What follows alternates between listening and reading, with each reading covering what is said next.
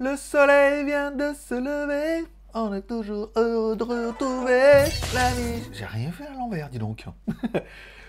Tchou Bonjour à tous, c'est GLG et je vous souhaite la bienvenue pour votre petit JT du Geek du vendredi 2 juillet 2021. Je suis GLG, votre auditeur d'accord. On se donne rendez-vous deux fois par semaine, les mardis et les vendredis, pour votre petit résumé des news high-tech, smartphones, films et séries télé et des reviews à venir.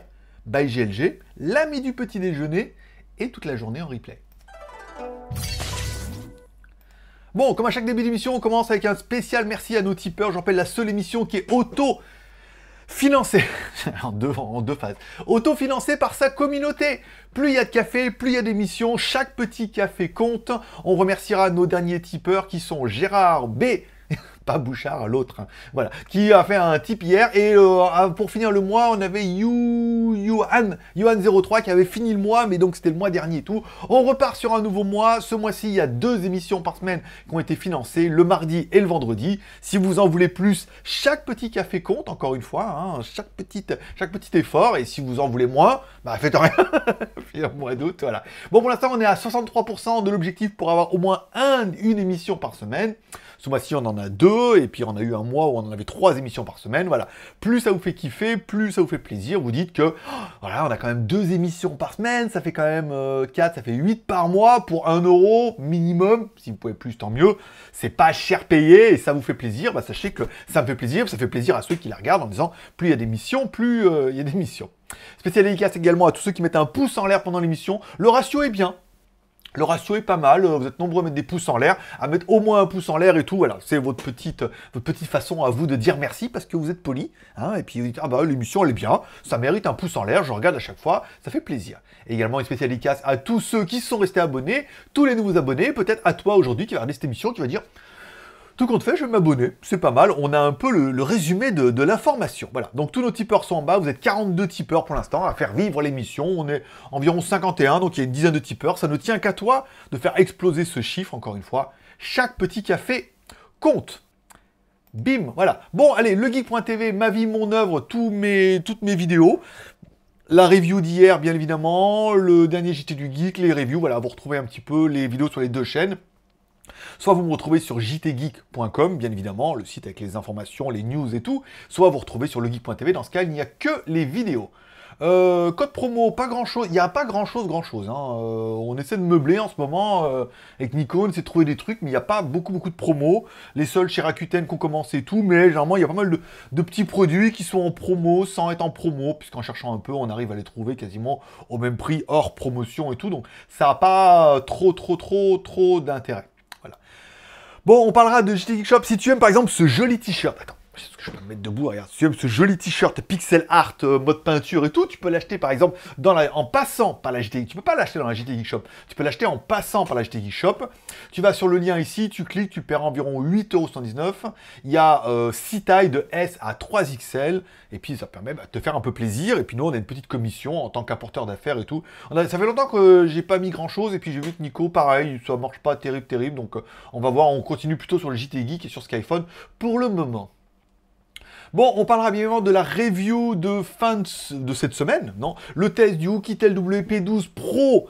Alors bon, bien évidemment, il était en promo à 80 balles et tout. Alors, on est dans un téléphone qui est quand même relativement léger hein, euh, au niveau des spécificités. Alors, batterie 4000, euh, pas de Touch ID. Euh, bon, on a quand même une bonne caméra. Il est quand même IP68, IP69.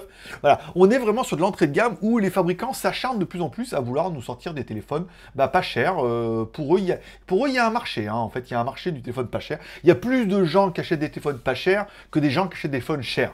Alors, c'est toujours un, vase communicant, ça veut dire que bah, sur les téléphones chers, les fabricants font beaucoup de marge, donc ils ont besoin d'en vendre moins. Par contre, sur les téléphones pas chers, ils font moins de marge, mais il faut qu'ils en vendent plus.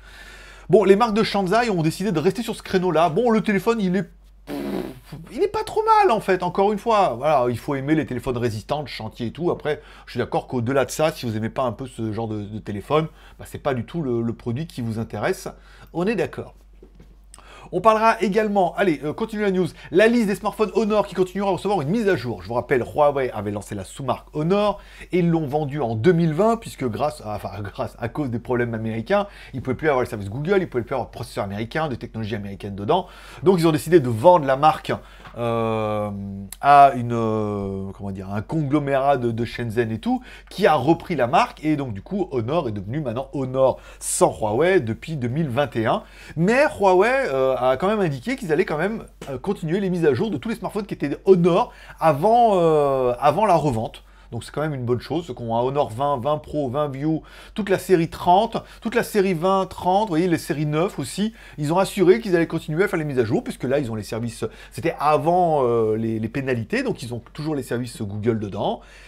Et ils continueront à faire les mises à jour. Moi j'ai trouvé, j'ai trouvé l'attitude plutôt propre en fait. Hein. Ils ont décidé de le faire et tout, donc c'est plutôt bien. Et euh... que je voulais dire Ça. Et voilà. Et, et, en fait, et la nouvelle marque Honor a dit qu'ils allaient eux aussi essayer d'assurer un espèce de SAV sur les modèles d'avant la vente, avant de les renvoyer directement chez Honor. Alors s'ils peuvent essayer de trouver une solution, ils trouveront. Sinon, ils renverront chez Huawei. Euh, anciennement du nom et tout.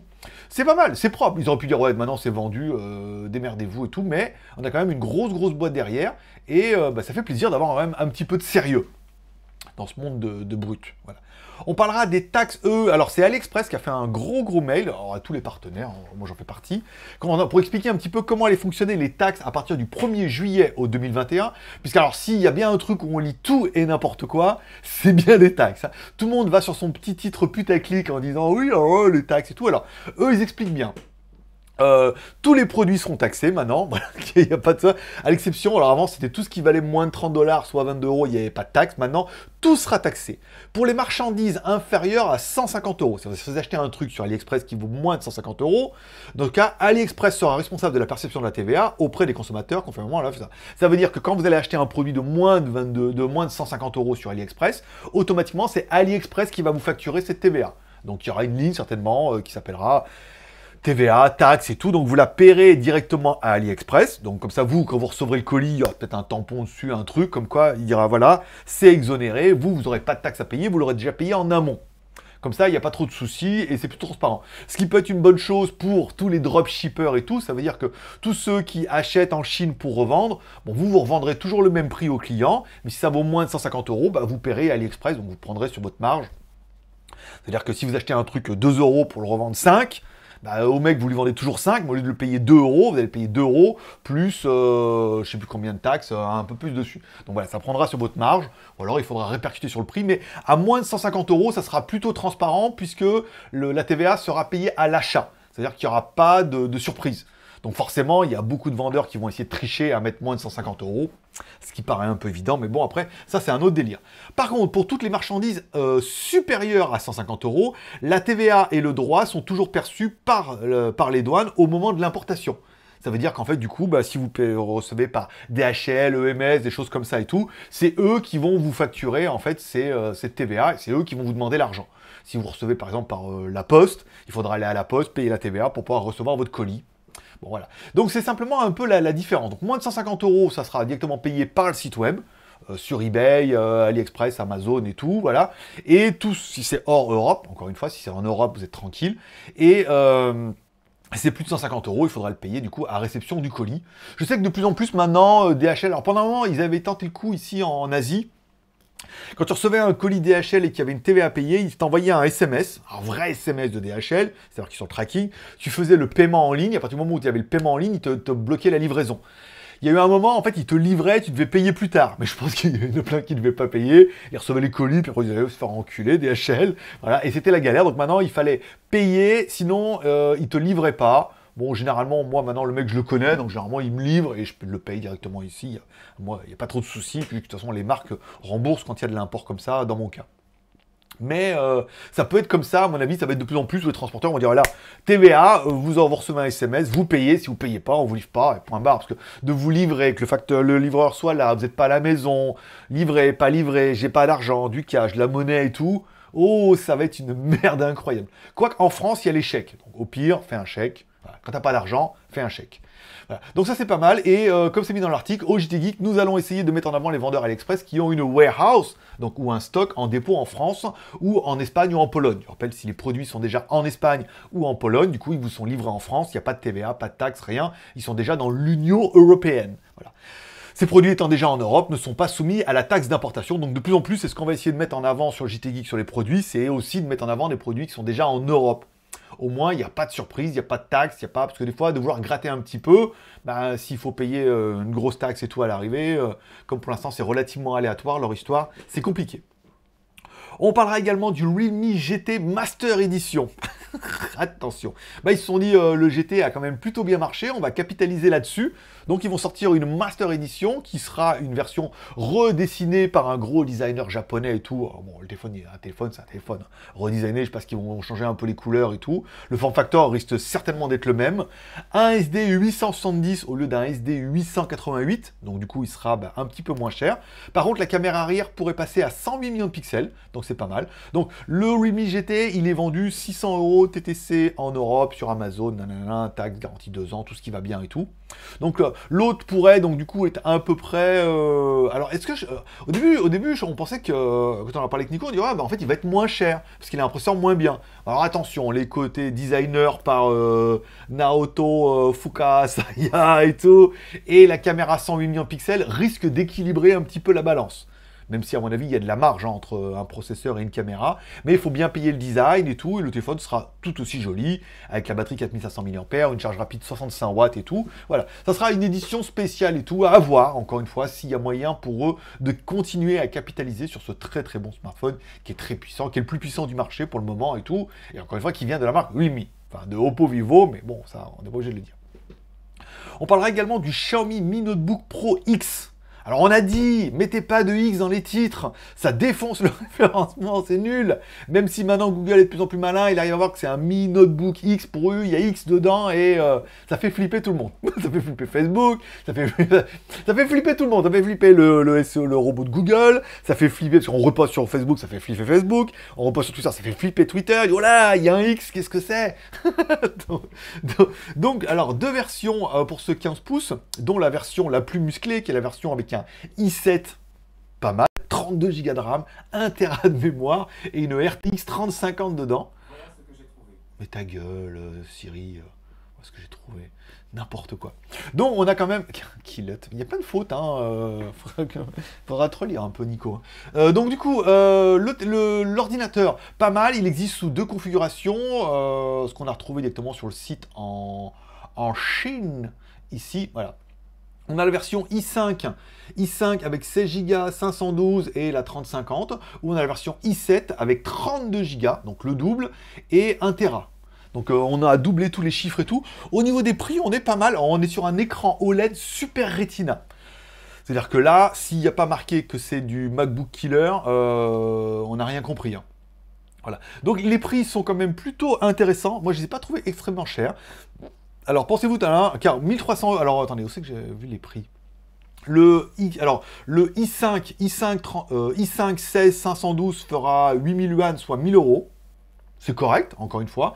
Et la version la plus musclée avec i7, 32 Go de RAM, putain, i7, 32 Go de RAM et 1 Tera de mémoire fera 1300 euros. Hors taxe, encore une fois, en Asie. Euh, Bon, ça fait quand même avec un écran super OLED Retina et tout. Enfin, l'ordinateur, il est quand même relativement joli. Et là, on arrive vraiment à une machine qui est digne d'un MacBook Pro euh, sous Windows.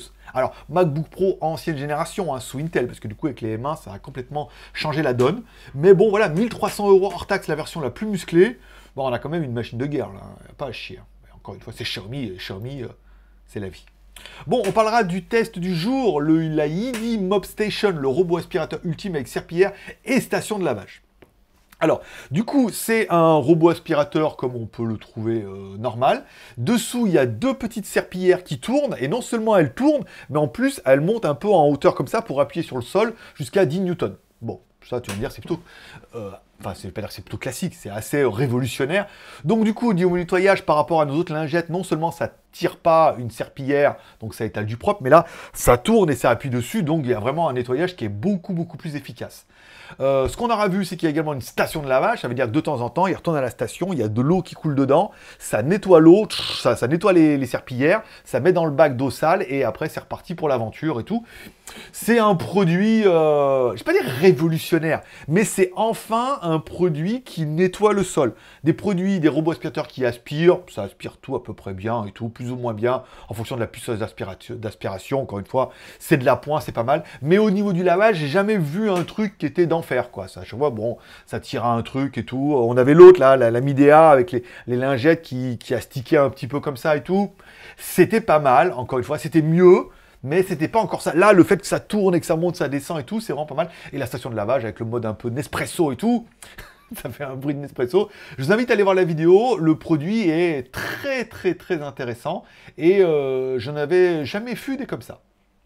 Bon, on parlera du Xiaomi Mi Mix 4 Bim Alors, le Xiaomi Mix 4, alors c'est encore une fois, c'est un mock-up, un leak, on ne sait pas trop. Encore une fois, je pense que Xiaomi a plusieurs prototypes en cours et ils essaient de définir un peu celui qui sera le mieux. Mais là, euh, le téléphone devrait sortir au mois d'août. À mon avis, ils savent à peu près ce qu'ils vont euh, nous produire.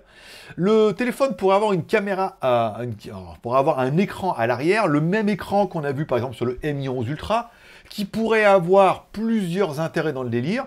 Soit, en fait, ils vont mettre une caméra frontale sous l'écran et donc du coup, ben voilà, il y aura une caméra sous l'écran et ça sera pas terrible et puis euh, tant mieux.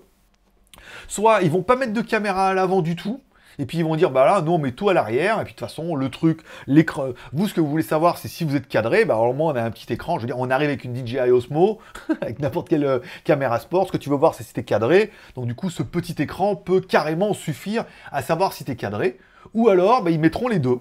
Du coup, ils mettront les deux en disant que, bah oui, ils en sont peut-être à la troisième génération de caméras sous écran, mais c'est encore pas terrible. Encore une fois, le problème de ces caméras sous écran, c'est que dessus, il y a l'écran. Même si on arrive à faire des écrans transparents, maintenant, ça reste une dalle avec des pixels et aussi euh, bonne soit la résolution et aussi petit soient les pixels, ça reste une dalle sur un écran. Et aujourd'hui, mettre un quadrillage sur, sur une lentille, c'est ce qu'il y a de pire. Donc même s'ils ont amélioré la technologie et que c'est quand même vachement mieux, forcément, entre une caméra qui n'a pas de grillage devant et une caméra qui a un grillage dessus, eh ben, on aura un meilleur résultat si on n'a pas de grillage. Donc ils pourraient garder cette alternative-là en disant on a une caméra sous écran oui, la qualité, elle n'est pas aussi bien que la même caméra sans grillage, puisque on a quand même des caméras selfie maintenant qui vont jusqu'à 32 millions de pixels, qui font des trucs de dingue, voire deux caméras. Mais si vraiment vous vous rendez compte que la qualité n'est pas suffisante, vous pourrez utiliser la caméra arrière également pour euh, faire des modes selfie. Et là, dans ce cas, vous profiterez bah, de la grosse puissance de la caméra arrière. Ça pourrait être intéressant. Moi, je pense qu'ils vont mettre les deux ils vont mettre les deux parce que deux c'est mieux déjà et qu'ensuite bon je trouve que voilà c'est plus intéressant d'avoir l'alternative en disant de pas d'avoir que les gens aient le choix encore une fois on est sur la série Mimix 4 je vous rappelle j'ai ressorti mon Mimix il est où euh, je l'ai rangé où il est là j'ai ressorti mon Mimix 2 qui était un téléphone avec, euh, vous voyez, il y avait la, caméra, elle était en bas ici, donc il fallait tourner le téléphone et tout. C'était pas terrible, terrible non plus, mais il était en céramique et tout, il est quand même encore très bien, il fonctionne encore parfaitement. Comme quoi, euh, Comme quoi, c'est déjà de très très bons téléphones. Bon, au niveau de l'écran, il pourrait aussi également mettre un écran hyperboloïde AMOLED. c'est pas hyperboloïde, c'est hyperboloïde de 667 pouces, un rafraîchissement bien évidemment de 120 Hz. On pourrait avoir le nouveau Snapdragon 888 plus, puisque le 888 c'est trop 2020, c'est maintenant il faut le nouveau, donc ça serait le plus. La batterie, toujours 4500 mAh. Leur meilleure charge, 120 watts. Et la charge sans fil jusqu'à 70 watts. À voir ce qui va arriver. Le petit nom de code du téléphone, c'est Odin.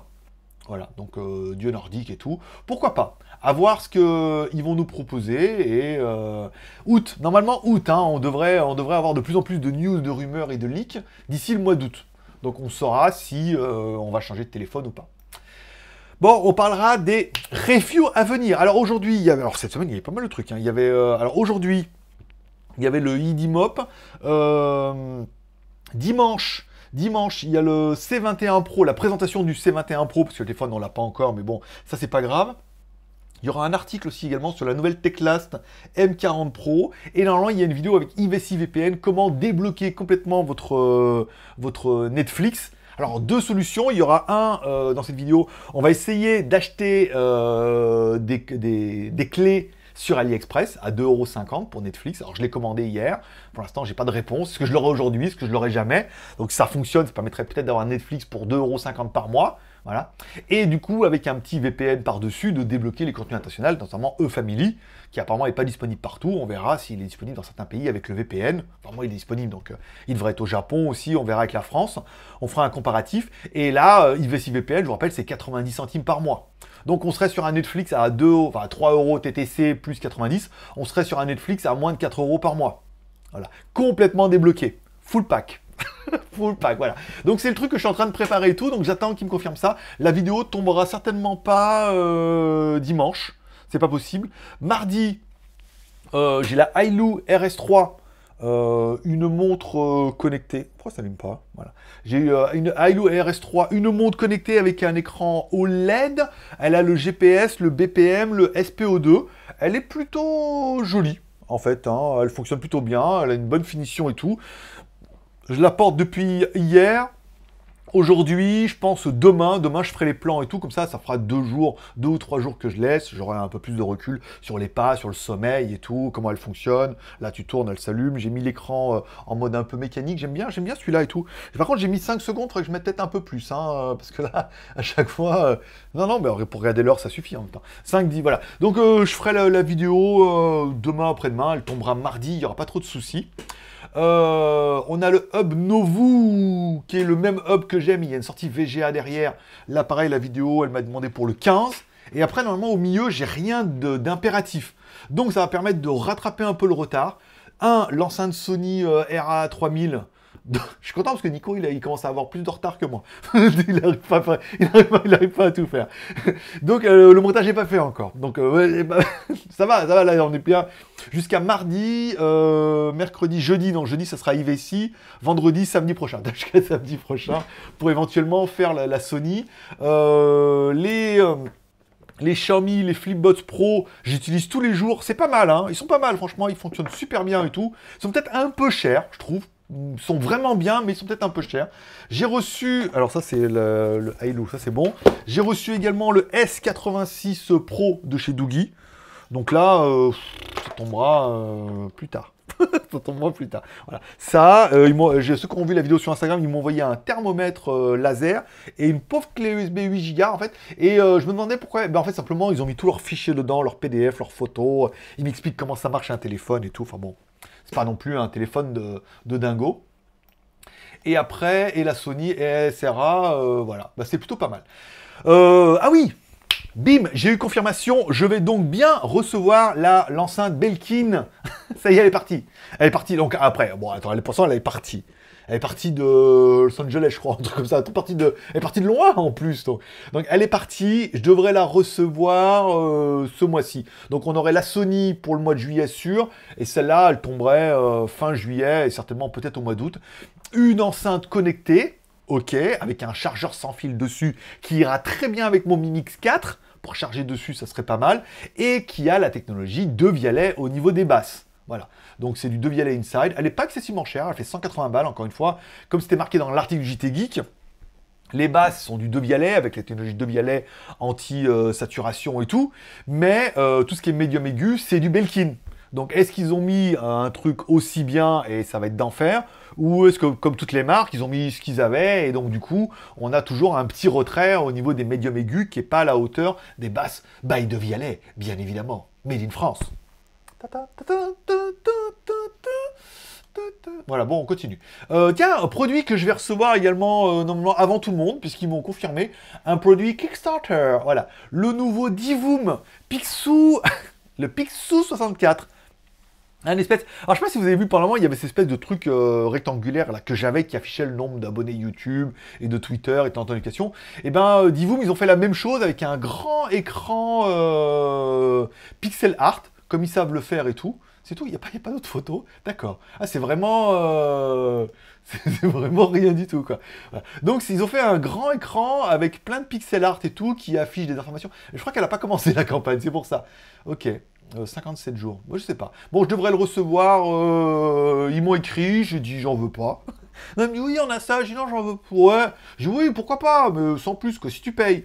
Après, ils ont dit non, mais genre, on vous donne 20 balles. C'est genre, non, mais on n'a pas beaucoup de budget, on vous donne 20 balles. Je dis non, mais 20 balles. C'est genre, je dis non, mais 20 balles, je prends pas. Enfin, c'est un peu plus que ça, mais je dis non, mais c'est bon. Euh, je vais rien en faire, ça, ça va prendre autant de temps, je vais rien en faire, je vais mettre dans un coin. Voilà, je dis non. Après, ils m'ont dit, bon, bah d'accord, alors. de quoi ils payent et ils auront droit à leur review. Faut qu'ils me l'envoient maintenant, encore une fois. C'est pas parce qu'ils ont dit qu'ils allaient me l'envoyer que j'allais l'avoir. On parlera de. je sais plus quoi. J'ai plein de produits là. Euh, ils m'écrivent. Après, je renvoie le bébé à Nico, mais ils, écrivent pas. Les écouteurs machin euh, sans fil, euh, je sais pas. C'était parti. Apparemment, le FedEx n'a pas marché. Ils ont annulé. Ils vont peut-être le renvoyer ou pas. Enfin, on verra. Allez, films et séries télé. J'ai regardé cette semaine Sans un bruit 2 la suite du film sans un bruit du coup. Alors c'est vrai que j'avais tendance à mixer celui-là et celui qu'il y avait sur Netflix là où il fallait pas qu'il regarde et tout. Non non là c'était fallait qu'il pas, fallait qu'il fasse pas de bruit et tout. Donc c'était pas mal. Bon le mari euh, disparu dans le premier épisode bien évidemment. Dans le deuxième, l'acteur tu le reconnais, c'est bien fucking Peaky, euh, Blinders. c'est étonnant parce que du coup, quand on le voit, on pense tout de suite à Peaky Blinders et il a pas du tout le charisme de Peaky Blinders dedans. Là, c'est un acteur en fait. Donc du coup, c'est pas du tout. C'est sans un bruit donc c'est la suite. Ça faisait un peu flipper parce que quand ils font des suites comme ça et tout, et en fait, au-delà d'une suite, on comprend bien que c'est une trilogie en fait à la base, puisque le premier était fini, on s'attendait pas à un deuxième. Là, il y a un deuxième qui est pas mal. Il y a un peu de, il y a un peu de tension quand même. Toi, c'est, il y a une petite pression, c'est assez pas mal. Malheureusement, ça fait un peu. Alors moi, je dirais Goonies, mais euh, les, les, jeunes maintenant, ils disent pas Goonies, ils disent Stranger Things ça fait un peu Stranger Things, où c'est quand même toujours trop axé sur les gamins. C'est un des gamins. en plus, le problème, c'est qu'il y a un des gamins, il joue dans Stranger Things. donc, donc c'est pire que tout. C'est-à-dire déjà, tu dis, mais c'est pareil, c'est encore une fois des gamins qui, ah, c'est gamins qui font les initiatives, qui sauvent le monde et tout. Et euh, il y en a un des deux qui joue dans Stranger Things, donc du coup, tu dis, ouais, là, forcément. Alors moi, c'était les Goonies, hein avec chocolat. voilà, c'est une autre époque. Hein. les, moins de, moins de 30 ans ne peuvent pas connaître. Hein. Mais ceux qu'on connaît, agonisent. Eh, non, t'es Dieu. Voilà. Donc c'était pas mal, c'était bien. Bon, malheureusement, ça se finit bien, mais ça se finit, euh, mais c'est pas fini. Ça se finit en disant, mais c'est pas fini. mais non, il en reste encore derrière, là, dans le train. Donc, euh, il y aura certainement un euh, sans un bruit 3, mais c'était pas mal. C'était pas une grosse déception et c'était bien, j'étais content. J'ai regardé également sur Netflix euh, un truc qui s'appelle Naked Director. C'est trop bien, c'est trop bien. Alors c'est un truc japonais et tout, sur celui qui a instauré un peu, euh, je vais pas dire les films porno, mais les premiers catalogues et tout. Ça commence dans les années 80 quand il est jeune et tout. C'est une success story dont on le suit, il y a une saison 2 qui est arrivée et tout. C'est franchement sympa. c'est un peu érotico quand même, hein. on voit des petits bouts de tétons quand même, hein, malgré tout. Mais sans plus, puisqu'encore une fois c'est filtré, mais c'est vraiment le concept du Japon où euh, ils sont très prudes, il faut mettre des autres collants, il faut mettre des trucs, il faut qu'on floute et tout, alors que c'est quand même un des plus gros producteurs de porno au monde. Mais voilà, c'est assez intéressant, j'en suis au quatrième épisode là. C'est pas mal, c'est pas mal, c'est bien. Il y a un côté euh, attrape-moi si tu peux, parce qu'ils n'ont pas le droit, la police, la corruption d'avant, le temps qui évolue et tout. C'est bien, c'est bien, c'est frais, je me suis bien amusé. Le dernier, quand il commence les films là, avec le, joueur de basket et tout, c'est trop bien. C'est trop bien, moi ça, m'éclate beaucoup. Voilà, ça détend comme ça et tout, c'est con et c'est disponible en français, euh, tout ce qui va bien et tout. Et enfin, cette semaine, Loki saison 1, épisode 4. Euh, avant, avant dernier, parce qu'il y a que 6 épisodes sur la saison. Putain, c'est bien Loki, hein. on met en place des choses et tout là avec. Euh, les maîtres du temps.